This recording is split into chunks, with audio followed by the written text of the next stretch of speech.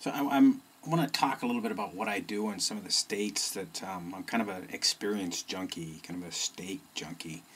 Uh, over the years, I've experimented with a bunch of different things, looking at higher states of awareness, and I was told that I'm not allowed to tell people that because I'm a professional.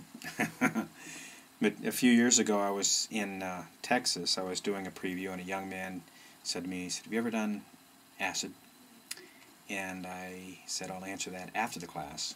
And I said, after the class, why did you ask that question? He said, because the states we were going to, um, I've not experienced naturally. He said, I've done acid. And I said, well, I said, I've gotten to those states chemically and when I found this work, that's why I do it. Because these higher states of awareness are attainable and they're really uh, a lot healthier for you if you go out there naturally. But I was doing a class a couple of weeks ago in Canterbury, and I talked about the gentleman who came just to see how good he could stand it.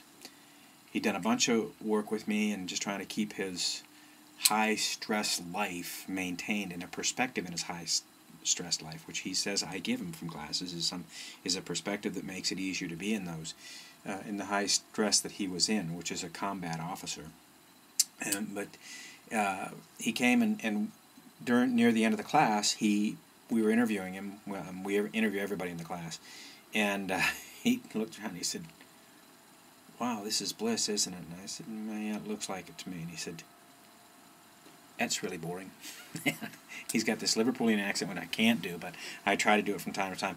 And I got laughing, and because it's not the first time I've heard this people get out into these higher states for it and say, look at bliss, and they look at it for, from, gee whiz, is this it? And the state is great.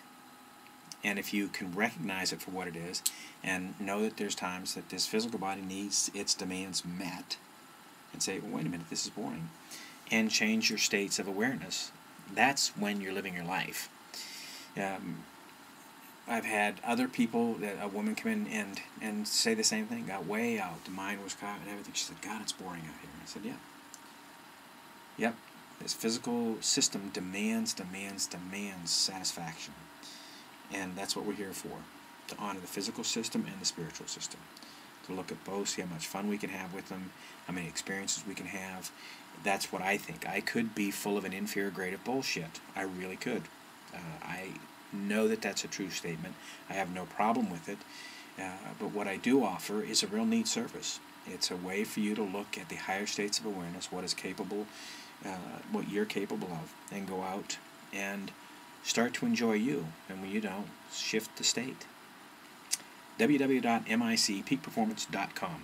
Have a great, uh, whatever it is for you, evening, day, tomorrow, whatever.